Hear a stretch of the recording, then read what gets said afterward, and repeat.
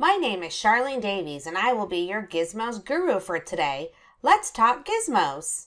Oh shoot, you boiled your only egg in the refrigerator and now you want it scrambled. Don't you wish you could convert the egg back to its original form? Let's explore the chemical changes gizmo together in order to understand why this is not possible.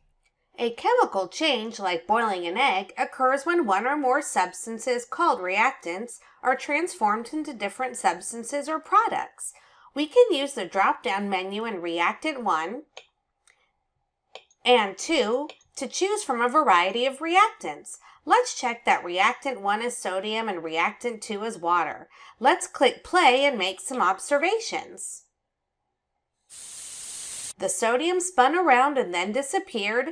Bubbles appeared and I heard a fizzing sound. The water seems to have turned a different color as well. All our observations support that a chemical change or chemical reaction took place. Let's run some more experiments to discover other evidence that indicates a chemical change has taken place.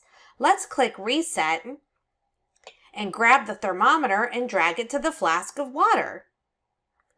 By clicking play, we allow the reaction to start.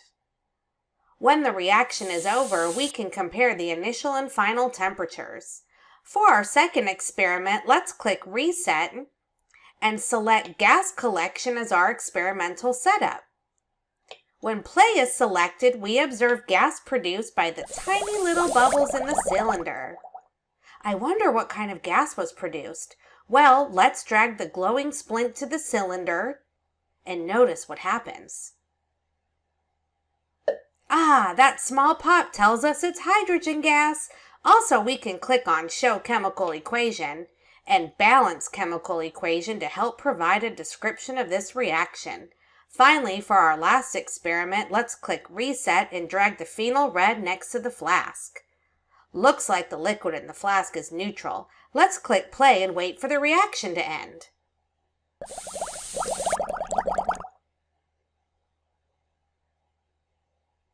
Ah, the liquid in the flask is now basic. Looks like a chemical reaction occurred. Well, as you can see, this gizmo allows us to rely on our senses and chemical equations to determine if a chemical change has taken place.